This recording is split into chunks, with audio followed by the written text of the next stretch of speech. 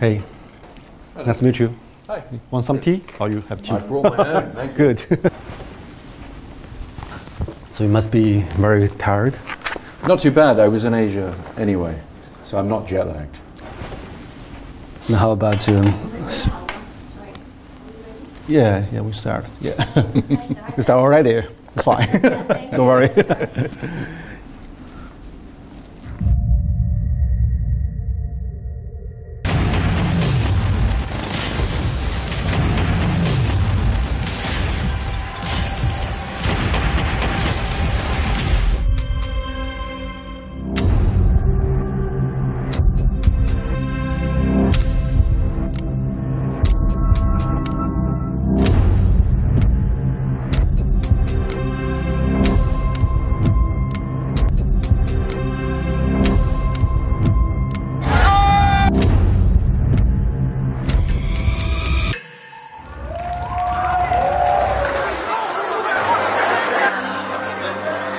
片的一个新鲜体验，不是一个传统意义上的战争片。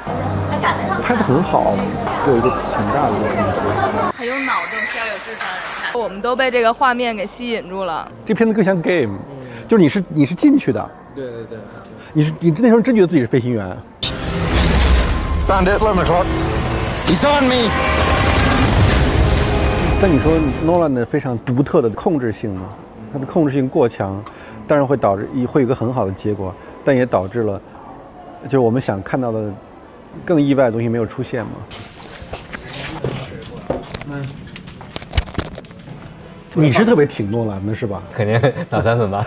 那你比如你们分析分析，就是他成为一个就是那种所谓的上神神坛那样的啊后面那个整个的社会心理原因是什么呢？他的两大法宝，一个就是他的叙事，嗯在技术方面他很成功；第二个法宝就是哲学，比如说在这个黑暗骑士，就是在两艘船上，一帮是正常的市民，一个是囚犯，让他们互相拿着这个遥遥控器可以引爆对方的船只。他其实就是把这样一个哲学史上著名的电车难题拉过来，嗯，在讲思想，在讲观念，给你植入一个概念，这样的话给观众的体验是焕然一新的。就很多导演他拍的那种想表达哲学的电影，非常小众、晦涩、深奥，看着就容易睡着的那种。嗯，但是诺兰，呃，我从来没有感受过电影原来有这样的功能。可能在这方面，我觉得诺兰的电影是让人感觉到非常值得去推崇的。那你这么挺他？对，我不同意，我不同意，我当然不同意。你说蝙蝠侠为什么跟别的那个片子不太一样，对吧？是对自我的怀疑，这这就是他贯穿的一个状况。但这个东西其实特别泛泛，奥奥德赛不也是这样吗？奥德赛也在怀疑自己该不该回家，该不该这样。那哈姆雷特也怀疑自己，所有的一个家庭剧里面都会有的这样。我经常爱拿我的前半生来举例子，把一个角色和那个朗拿多·提卡普里奥一样，重塑自我，重新找到自我的故事，没什么区别。我经常讲电影，它应该分为四种。仅仅从视听语言来讲的话，有点小突破，但正好又不超越我们的审美的这个台阶吧。所以说这是有气势。第二种电影是有性格，像黑泽明电影或者三帕金帕的电影，还有一种电影是有生命感的电影。最高级的电影，它是有命运的电影。其实诺兰应该来讲呢，是最低的那一种。他有给你的小思索，给你的小视觉，给你的什么都都给你一点点，大家看到了，正好的比我的审美高那么一点点，嗯，也不高不了那么多。其实蛮符合这个全球化的审美。对对对对。 And both in, in your movies, people are always very ambiguous about his own identity, his the fictional world and the true world. Why this kind of things attract you so much? I mean, it's become your major subject to. It's from a kind of philosophical thinking of. my favourite types of films have always somehow related to the thriller genre. I like that form of storytelling, and I th- because the camera pretends to be objective, Yes. but it's not. You Yeah. know, it's very subjective, particularly if you choose to use it in that way. Um, and so, the great masters of suspense, like Hitchcock and Clouzot, they understood how to manipulate and how to align an audience's perceptions with one character or another, with their sympathies going to one character or another. Um, and I think that stories in which you can't take identity for granted, even the identity of the narrator, who's the good guy, who's the bad guy, you know, it's, it's a fun thing to play with. in the past you also you always imagine the future or imagine the maybe not very concrete things, concrete Yes. situation. But now you're facing the very concrete historical place and uh, Yes. event. So I mean, the two imagination are very different for you or similar. I mean, imagine Well. I, I found it um, creatively. I found it invigorating because the key difference is that the world of the film, which is something you're normally, the world of the film is something in, in which, as a writer, I'm normally engaged in constructing from the ground up. Particularly in a film like Inception, for example, or uh, Interstellar. Um, you know, the script has to create the entire world of the film and the terms of it that part of it was already done for me in Dunkirk. That exists, it's real. And so all I had to do was research it and read about it. And so my creative process was then different. I didn't have to build that, I had to explore it. Quite honestly, the, the feeling of presumptuousness about making a war film as somebody who's never been to war Yeah. and would, I mean, it's my worst nightmare to imagine having to fight a war. I had the privilege, and my grandfather was in the Air Force, and he died in World War II. And I took my children to go and visit his grave. He's buried in France. And um, when you look at the gravestones of the people who actually died in this, and you think, okay, we're going to make an entertainment, we're going to make a, you know, a cinematic telling of, of war. That's very daunting, and it's difficult to know how to go about that. And for me, the solution was to not look at Dunkirk as a war film, to look at it as a survival story. And that I felt confident of. I felt confident of being able to tell a suspenseful story uh, about survival. Could or should director be kind of philosopher? I mean, maybe your industry produce your own Michel Foucault, produce your own Nietzsche. Do you kind of see the parallel between them? Well, I think, I think for me, that would be too much of a. It would be too self-conscious to look at filmmaking that way. Um, one of the pleasures of talking about But you are very self-conscious. Well, not not at different stages. So you become very self-conscious when you're talking about the film you've made because Yeah. you're being asked. You, you know, uh, for me, I like to really stay focused on the story and the themes of the film. I like to try and do that instinctively rather than self-consciously. And I sort of trust that the way in which I know how to make a film technically that if there are things that are interesting to me philosophically, that they'll sort of somehow they'll be there. So, for example, with Dunkirk, we've tried to make a very intense film that, and that was really, really the ambition. And so, the film's attitude to war, therefore, for me, had to be not self-conscious. Mm-hmm. I didn't want to make a film that was an anti-war film or a pro-war film or anything. I wanted to make a film that presented my point of view on it and enjoy that. So from the the, the Sounds a little self-indulgent. yeah. Do you worry about it? Maybe the genre, maybe the big big production, maybe stifling your creativity. I mean, from following Insomnia, the different Yeah. parts. Do you worry about it? Oh, I don't. I mean, I have worried about it in the past. In the case of this film, I very much chose to not worry about it. I very much chose to just say this is a huge film that, for a British person particularly, it's a necessary film to be made. Somebody's going to make it. I want to be the person to make it. Um, and so I'm a responsible filmmaker, and I try and, you know, we made the film efficiently. We made it for a good price for the studio and everything. Uh, that was our way of kind of dealing with the practicalities. But beyond hmm. that, I did not worry too much about the mm-hmm. scale. I just said, you know what, we're just going to make the film right, and we need planes, and we need ships, and we need thousands of people, and we're hmm. just going to make this film. And uh, I think that was important to do mm-hmm. because the rational part of my brain, the sort of you know the businessman, if you like, mm-hmm.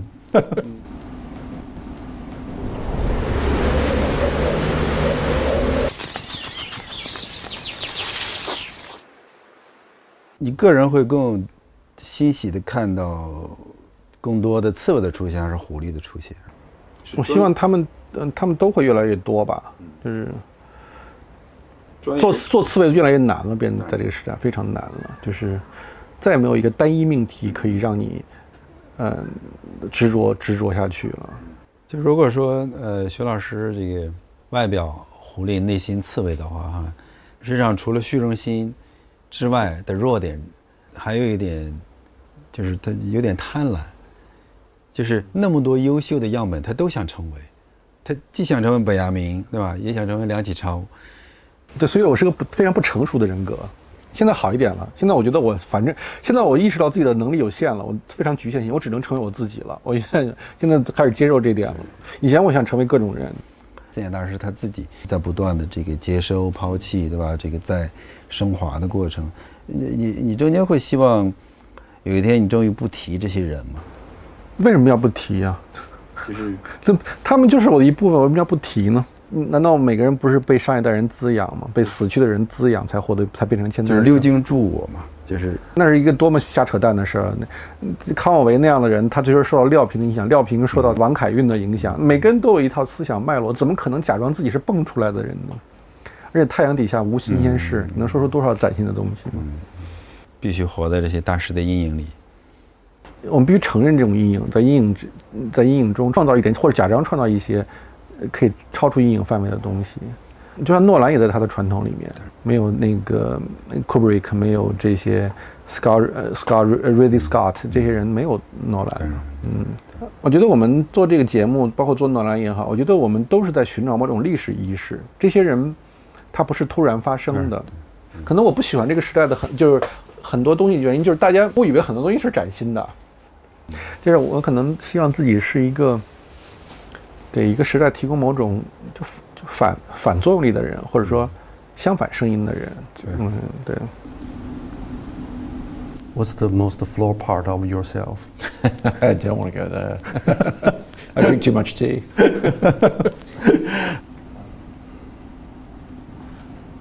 From the, the first idea of the movie until the finish, the whole whole thing, the whole process.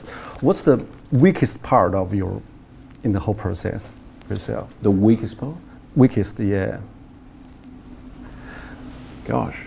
Um, that's a difficult thing to answer because the way the job of director works is you don't.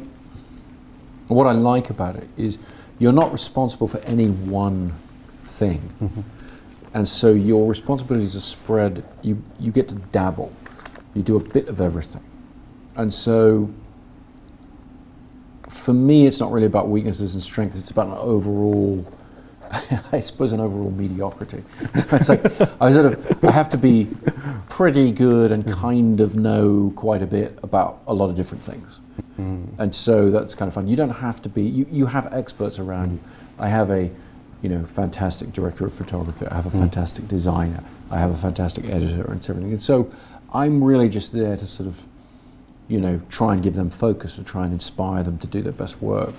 Um, and I think that's one of the reasons I really like the job of director. So you don't really, I'm not the member of the team who has to have a specific strength, a specific weakness. I sort of need to be pretty good at a bunch of different things and kind of just keep It must be Fox. Is there some, some kind of limitation you, you hate it, you want to overcome it?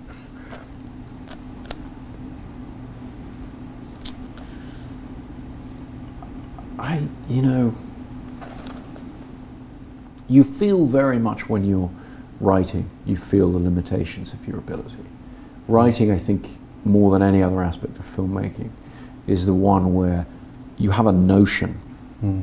you have an idea underlying, and then you're confronted with the absolute difficulty of executing that. It's very, very tough. Are- Are there some writers inspire you a lot? I was drawn to um, the writer I always point to is is Borges, the Argentinian writer. Ah, Borges, ah, my Yeah. favorite. Oh, really? Yeah. Also about kind of inception. very much. yeah. Uh, return to a movie director. You are inspired by Ridley Scott and Yeah. uh, this compare you today's achievement with him. So how do you think about your innovation with them with him? How am I Yeah. doing relative to that guy? I, I mean, geez, not for me to say.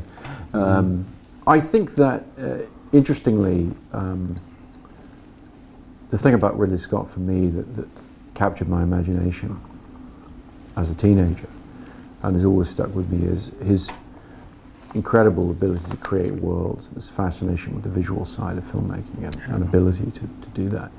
And so I, when I started making my films, I, I think I pushed in a very different direction. And so my films have been more about narrative, I think, more Mm. about writing in a way. Uh, and it's almost that thing of the people you admire so much, you, you sort of need to, to do something you know, different in a, in a different way. Yeah, and today's you are you are viewed as the representative for today's Hollywood. And uh, how do you how do you think about the tradition of Hollywood? I mean, from the John Ford, from the Coppola until James Cameron until you. I mean, you, you're part of tradition, or how do you define the tradition, and do you do some contribute something different in the tradition? Well, I think um, it comes back to everybody here wanting me to talk about Sorry. judge myself. Well, no, it's very tough. Uh, uh, what I feel a responsibility to do, what I'm trying to do, Yeah. is add something to that Uh. development or that evolution. But Uh. I would be lying if I said I knew what it was that I could or had done.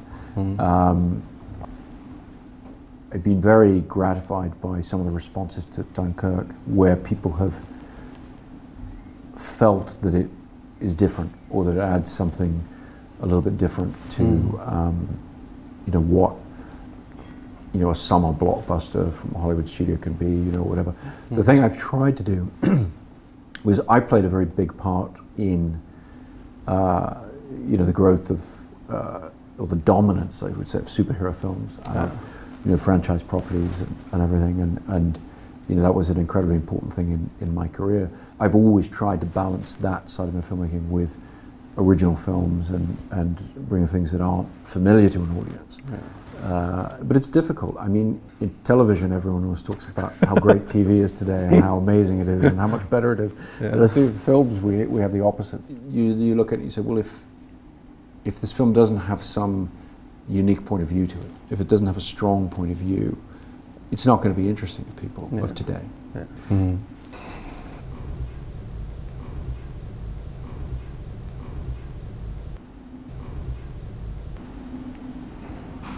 Could you imagine if you were in Dunkirk, what kind of role you will be played? You will be desperate, or you'll be hopeful, or brave, or cowed? I think what the film tries to say very strongly is we cannot know until we are faced with the situation. We Mhm. like to think that we would behave in a noble way. I wanted to be more, more real than that. You know, human beings, we're, we're very flawed Yeah. creatures. Okay, thank you so much. Thank I'm you. running out. Thank you. Yeah, next time we can talk about Borges. yeah, exactly. yeah. Mm. Is he well known in China? Yeah, quite popular in the, among writers and thinkers. Yeah. yeah. But good trip. Thank you very much. Yeah. Nice Take care. talking to you.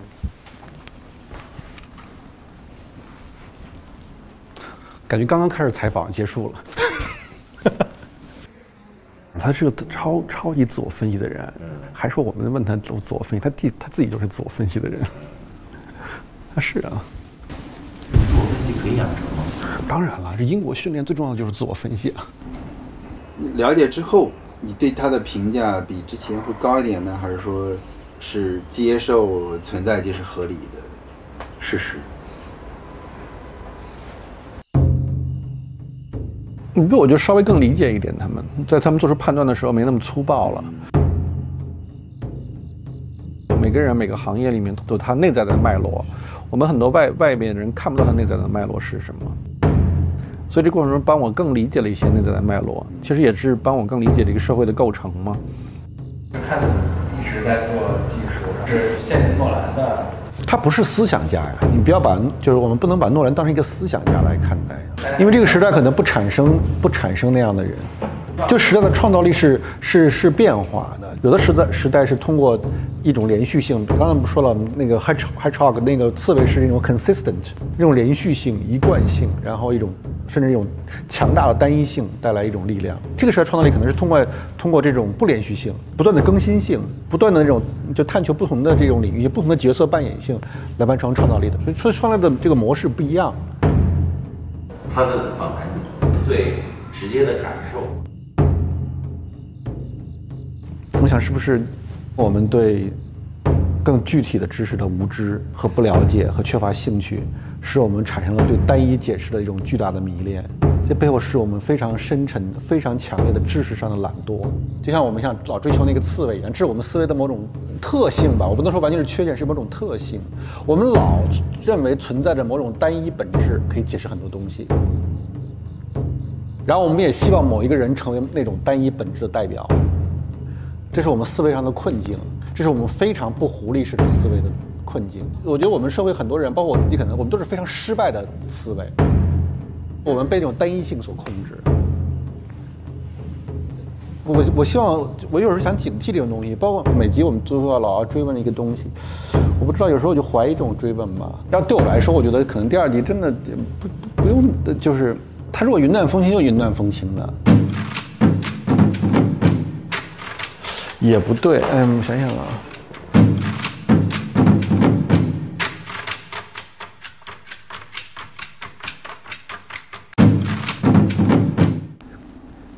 You said you don't use email and no phone. How to connect with the fast-changing modern world?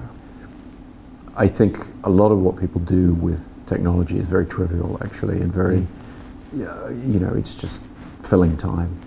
Uh, I value I value the discipline of, of just doing nothing yeah. and thinking and mm. just trying to puzzle out mm. what it is you're working on.